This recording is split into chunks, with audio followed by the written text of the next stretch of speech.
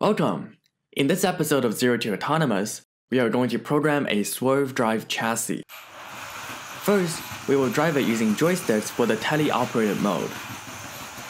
After that, we'll drive it autonomously using a pre-planned path.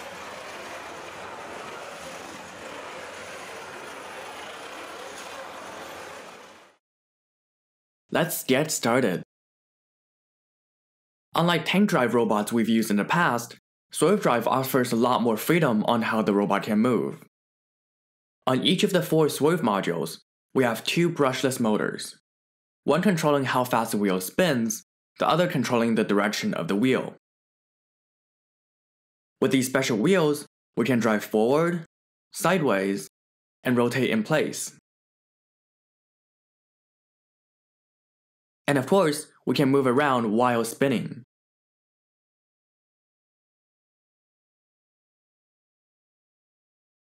One great way to control these actions on a gamepad is to let one joystick control moving around and the other control spinning. And notice, upwards on the joystick always means forward relative to the field, not to the robot's front side. This makes it easy to drive around while spinning. Now, let's plan out the workflow needed to drive a swerve chassis. So, we are given three numbers by the joysticks representing the driver's desired speed in the x, y, and turning directions relative to the field. First, we will convert that action into the robot's local reference frame. In other words, how the robot should move in its perspective. We'll get a new set of x, y, and turning speed values. And in the code, you'll see this referred to as the chassis speeds, since these three numbers completely describe an action for the chassis as a whole. Next, we want to find out what each swerve module should do in order to achieve this action for the whole chassis. By doing some geometry, we can calculate the exact speed and angle that each wheel should be at. These speeds and angles will be called swerve module states as they describe actions for each module to perform. The final step is to apply these actions to each module so that they actually achieve the speed and angle that is requested. The functions to convert reference frames and to calculate the module states are mostly done by the WPI library. However, we will need to do some work to apply the speed and angle to each wheel. So let's see how to do that. This function is the same for all four modules, so we'll just look at one of them.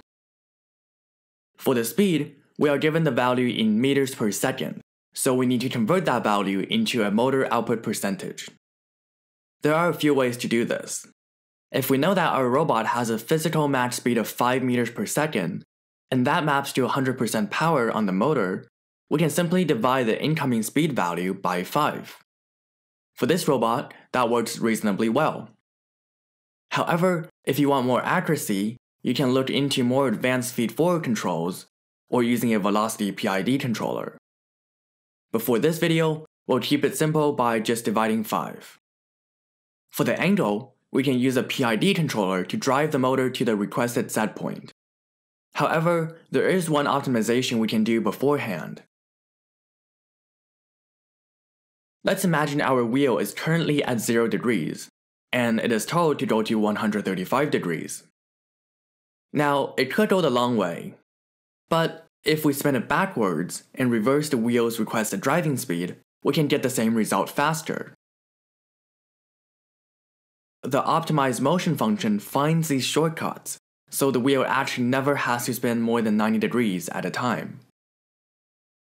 So that's it for the theory. Now let's talk about the code. Today, we are going to program a robot in the command-based structure. We will have one swerve subsystem, which contains four swerve modules. Then, we'll have two commands one that drives the robot using joysticks in the teleoperated mode, and one that follows a trajectory in autonomous mode.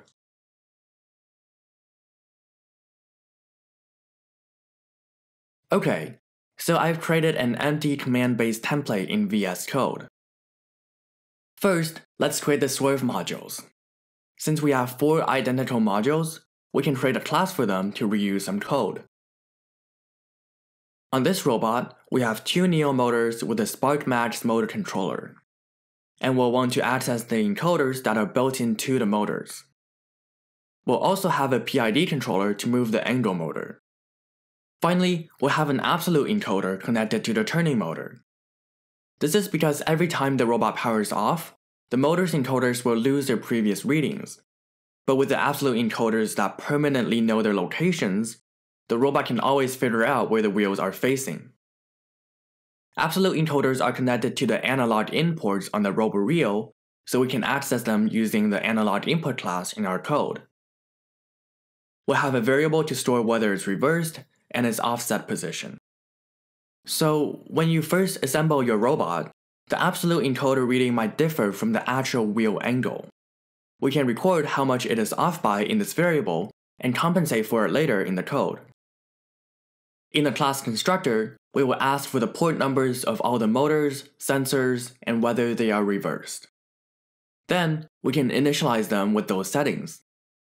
We'll create the absolute encoder, create the motors, get the motors encoders, set the encoder conversion constants so that we can work with meters and radians instead of rotations, and initialize the PID controller. I have already calculated the wheel diameter, gear ratio, and encoder constants for this robot, so I add them to constants.java under the module constants section. For the PID controller, the proportional term alone already does a good job of adjusting the wheel angle, so there's no need to mess with the integral and derivative term. We can also set the PID controller to be continuous at negative pi and pi radians. This tells the PID that our system is circular and that these two points are connected so it could jump through this gap. Next, let's add some helpful methods to get the encoder values. The first four are about the built-in encoders. To get the absolute encoder value, we'll need to divide its voltage reading by the voltage that we're supplying it. That gives us how many percent of a full rotation it is reading. We'll multiply 2 pi to convert it to radians, subtract the offset to get the actual wheel angles, and multiply negative 1 if it's reversed. So remember how the encoders in the motors will lose their readings every time the robot restarts? Let's create a function to give them the values of the absolute encoders, which always know their locations. In here, we can reset the drive motor encoder to 0 and the turning encoder to be the absolute encoder value. This way, the turning encoder's reading will be aligned with the wheel's actual angle. We'll call this function when the robot boots up. Great! We now can access all the encoder positions and velocities. However, a lot of the WPI library later on will request this info in the format of swerve module state. So we can create a method to return that as well. Finally, let's make the function that actuates this module. It will take in a swerve module state, which has a velocity request and angle request. First, we will optimize the angle setpoint so we'll never have to move more than 90 degrees. Then, we'll scale the velocity down using the robot's max speed and set it to the drive motor. And we'll update constants.java as well. For the turning motor, we will use the PID controller to calculate the output for this angle setpoint and the current position. Finally, we can send out some debug information. At this point, the swerve module would work, but there's one small problem. Later on, when we are driving this robot with joysticks, as soon as we let go of the controls, the WPI library is going to reset the module states back to 0 degrees. And that is quite annoying when driving. To solve this problem, we can add an if statement in this function to check that if the new requested command has no substantial driving velocity, we can ignore this command, including its requested angle set point. Instead, we can stop the motors and exit the function. And that's it for this file. Next, let's make the Swerve subsystem using the four modules. We'll make a new file and extend subsystem base.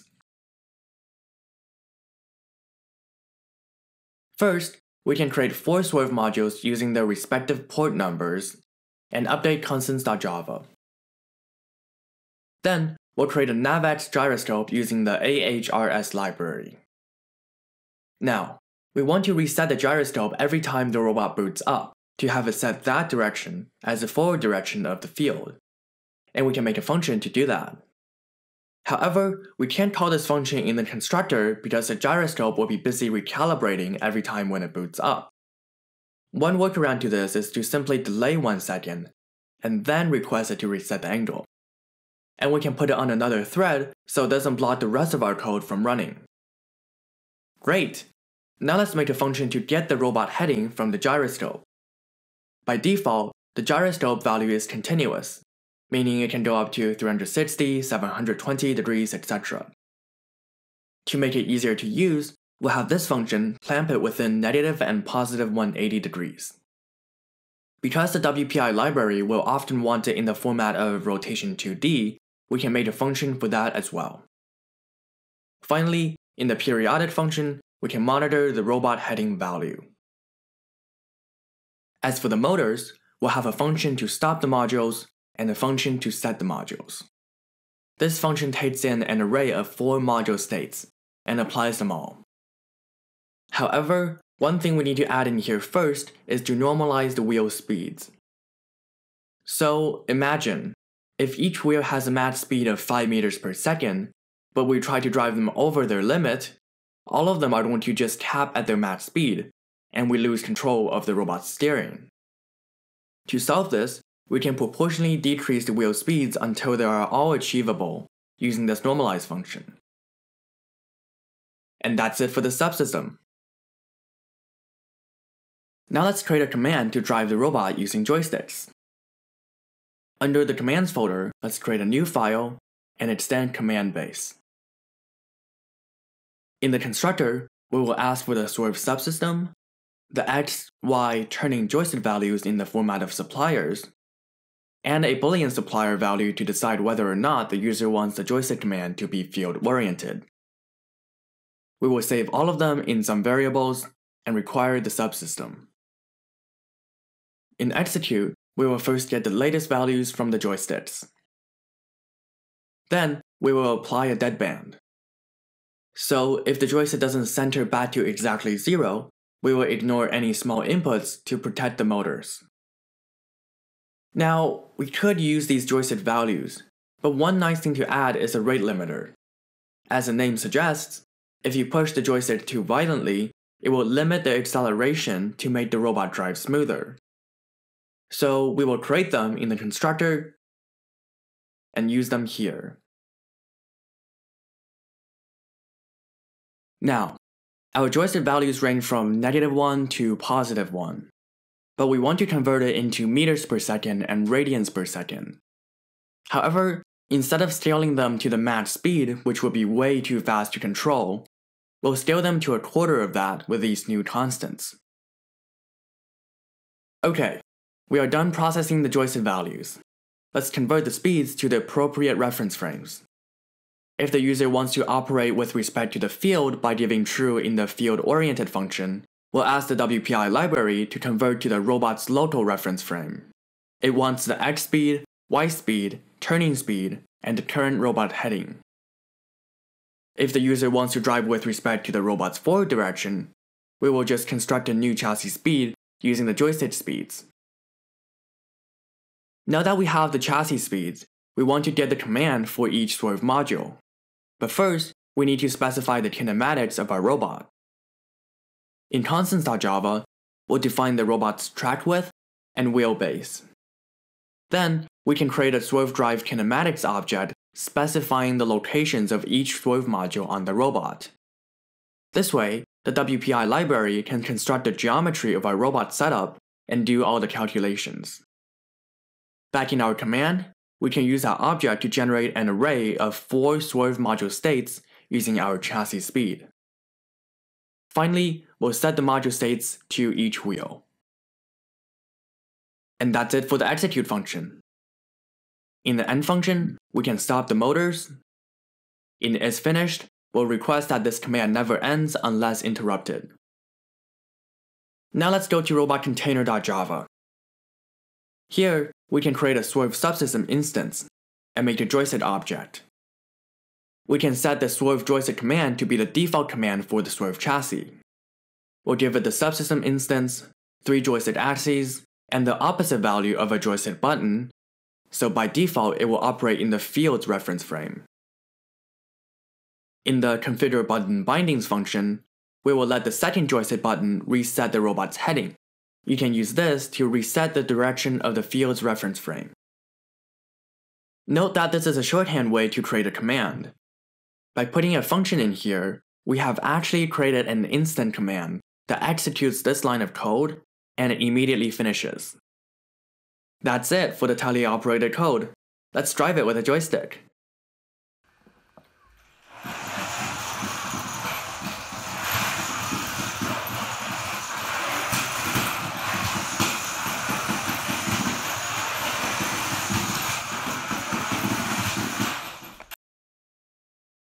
Okay, now let's talk about autonomous driving. Let's say we want the robot to drive this smooth path. To the robot, this curve is actually a sequence of commands.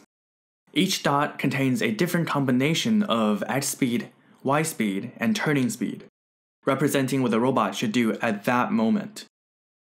So when it's driving this path, it's actually just rapidly firing this sequence of commands to the motors. And if we correctly work out all the speeds and accelerations beforehand, it should drive the path perfectly. So one of the main tasks in autonomous driving is to generate this sequence of commands. However, if we stop here, our robot won't be very accurate because the physics model is not 100% correct, and there may be other unforeseen disturbances. So, wouldn't it be great if the robot itself can realize that it's off course and automatically correct itself back onto the path? To do that, the robot will first have to know where it is at. In other words, its coordinates on the field. To calculate that, we'll need an odometer. And here's how that works. Imagine our robot is at the point x0, y0 on the field, and then it drove forward a bit. Because we have a gyroscope and some encoders, we know it drove in this direction and traveled this distance. Then, by doing some geometry, we can figure out its new location. By doing this process 50 times a second, the odometer can accumulate small displacements and determine the robot's real-time location. Now that the robot can sense when it's off course, let's see how it can do something about it. Let's say the robot is supposed to be here in the middle of the trajectory, but with the odometer, it realizes it's actually over there. Now, we can calculate its error in the x direction, y direction, and in terms of heading.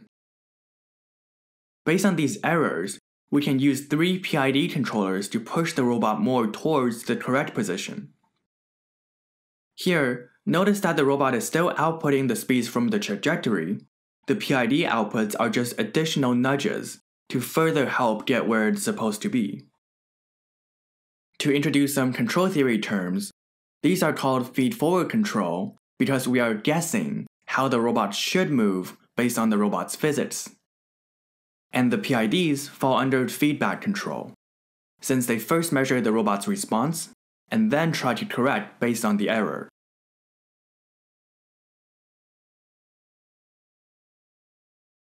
Okay, let's look at the teleoperated code we already have. Basically, the code takes in an x speed, y speed, and turning speed, and drives the robot accordingly. Now, instead of using the joysticks, we are going to let the trajectory feedback and feed forward control take over the steering of the robot. And it needs the odometer, so we'll implement that as well.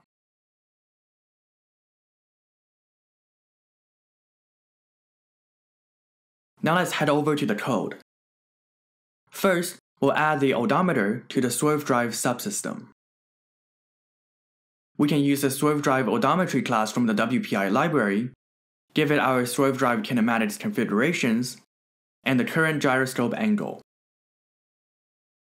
In the periodic function, we will repeatedly update the odometer for it to accumulate our location, and we will provide it with the current robot heading and the states of all four swerve modules.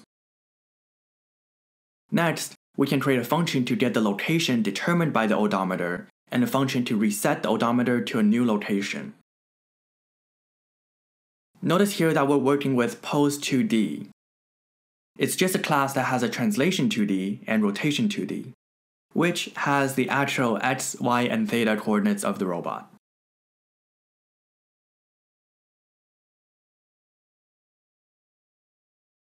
Now, back in robotcontainer.java, we can generate our trajectory for our robot to follow. Since we're programming for the autonomous mode, let's go into the getAutonomous command function. First, let's create a trajectory config object to specify how fast we want the robot to drive. It also needs the kinematics of the chassis. Next, we can define the path we want to drive. With the WPI library, we can just define some intermediate points and it will automatically generate a smooth path for us.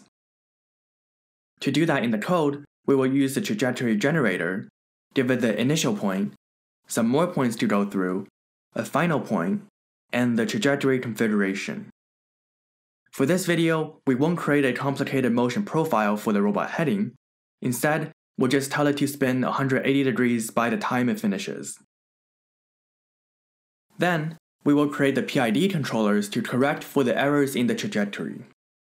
For theta, we are using a profiled PID controller, which is just a PID controller with a limit on its maximum speed and acceleration. This way, the robot will rotate very slowly over the course of its trajectory. Since the robot heading is between negative and positive 180 degrees, we will make this PID controller continuous to handle that. Next, we need a command to autonomously drive this robot. Fortunately, the WPI library has already provided one to us. So now, we just need to pass in the trajectory, a function to get the robot coordinates, the chassis kinematics, the three PID controllers, a function to set the swerve module states, and finally, a subsystem to require. And if we look at the implementation of this command, it's exactly what we expect. In execute, it obtains the trajectory speeds for the current time. Then, it combines that with the PID output to calculate the desired chassis speed.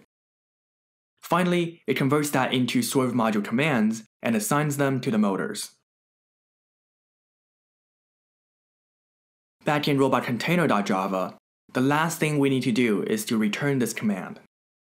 However, we want to do some initialization by resetting the odometer before it starts and stopping the robot after it finishes.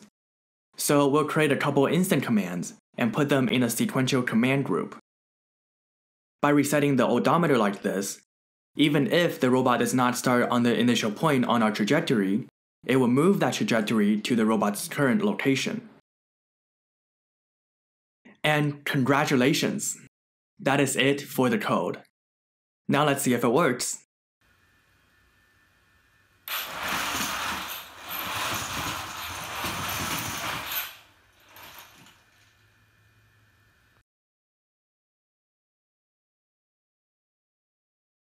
One.